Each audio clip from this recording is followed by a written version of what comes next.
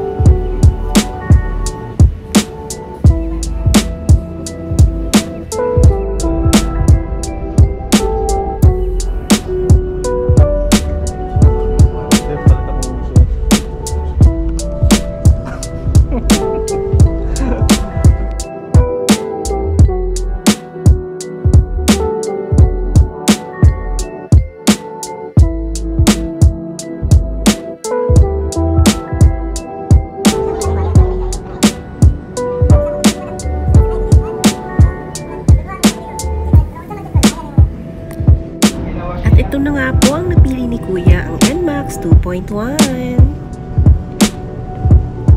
Ano may one week ka na no? Napili pa dagandagan no?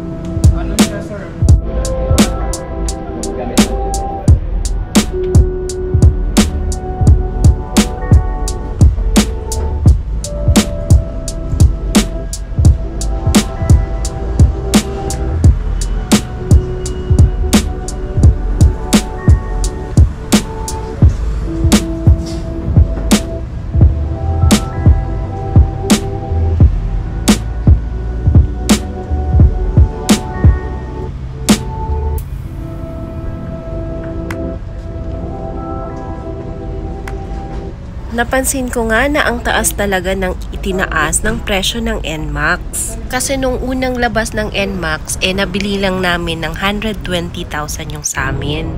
So ngayon, ang NMAX na 2.1 ay nasa around 152,000 na siya. So napakalaki talaga ng itinaas. Di ba, ang, ang stand niya open, no?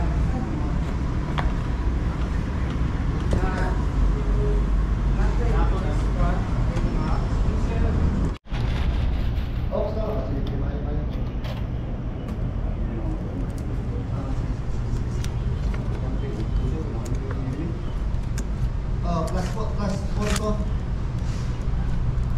Oh, katong camera.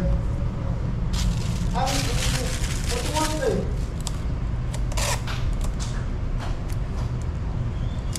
Sa pila ka kopya na ito. Upat, sir. Upat. Kumana ka sa ano? Sa chassis. Ah, mo ni sa chassis. Mo ni ang chassis sir. Ang- Tapos ang next na po na to is engine po. Nasa ilalim ng Ah, engine okay. sir. Buhat, buhat.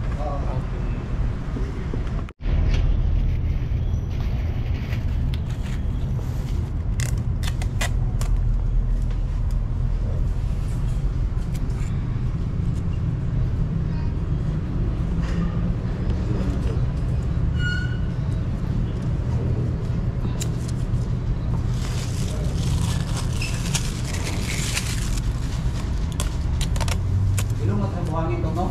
Three times a day. At ito na nga po, binayaran ni Kuya ng cash para wala na siyang iisipin pang bayarin.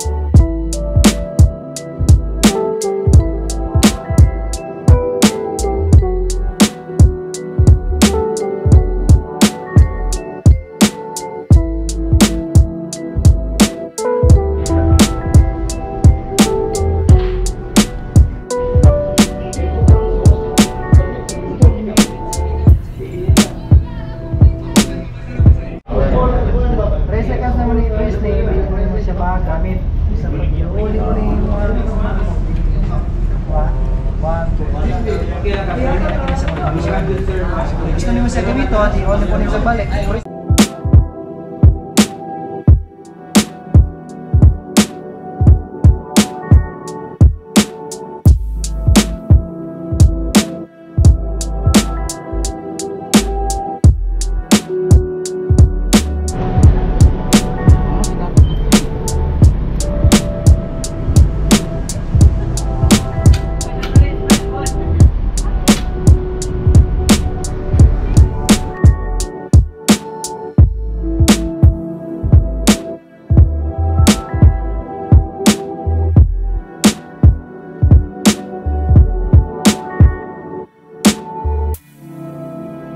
yun lang po for today's video mga kapakals. Bye!